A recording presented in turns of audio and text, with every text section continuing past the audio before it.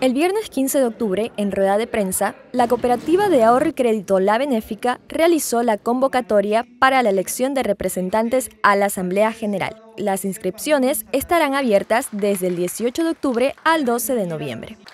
En el acto estuvieron presentes la licenciada Solanda Cabrera, miembro del Consejo de Administración y delegada del presidente de la cooperativa, ingeniera Mariuxis Alcíbar, gerenta, el licenciado José Pazmiño, presidente del Tribunal Electoral, ingeniera Lucía Moreira Zambrano, vicepresidenta el señor Yandri Alcíbar, secretario. Además, se sumaron miembros del Consejo de Administración, Vigilancia, Comisión de Educación y jefes departamentales. Vengan a, inscribirse, que participen en este proceso electoral, que no es otra cosa que devolverle a través de la administración un poco de lo que la cooperativa nos entrega cada día. Cada uno tendrá dos suplentes porque hay momentos en que las personas renuncian por movilidad humana, por salud, por lo que sea, y hay que ir reemplazándolos con los suplentes. Todas las cooperativas, de acuerdo a la Ley de Economía Popular y Solidaria, eh, sea del, segmento 1, 2, 3,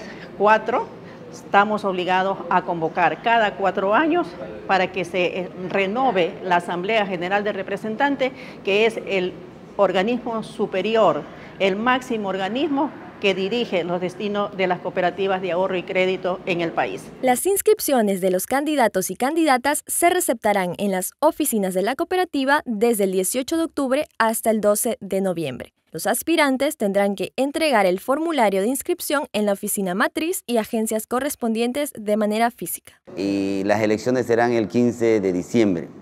Se van a elegir 35 representantes a la Asamblea General, 21 representantes de la oficina matriz, 7 eh, representantes de la oficina de Santo Domingo de los Colorados, 6 representantes de la oficina de la Concordia y un representante de la oficina de la Bramadora.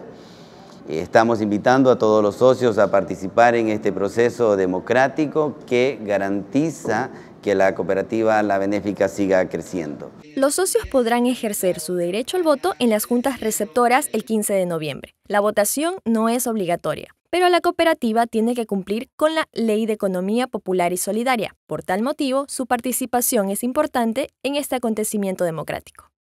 Las urnas estarán habilitadas desde las 8 hasta las 16 horas en la matriz ubicada en el Carmen y agencias en Santo Domingo, La Concordia y La Bramadora. Para ser candidato, estos son los requisitos. Ser socio de la cooperativa, en lo posible tener título de tercer nivel en Administración de Empresas, Economía o carreras afines, tener su cuenta activa no haber desempeñado cargos directivos en otras cooperativas y finalmente no haber sido elegido representante por más de dos periodos consecutivos. De la misma manera, habrán prohibiciones que se deben de considerar. Dentro de las prohibiciones, pues no lo podrán hacer quienes hayan mantenido contrato con la Cooperativa de Ahorro y Crédito La Benéfica, ex gerentes, ex empleados por tiempos que lo determina el reglamento, como tampoco las personas que se encuentren con algún proceso eh, de litigación con la Cooperativa de Ahorro y Crédito La Benéfica o quienes hayan sido sancionados en algún momento con trámites de visto bueno, entre otros. Para mayor información puede ingresar a las plataformas oficiales de la cooperativa o redes sociales como Facebook. Para Ciudad al Día, con cámara de Darwin Cedeño, Malena Segovia.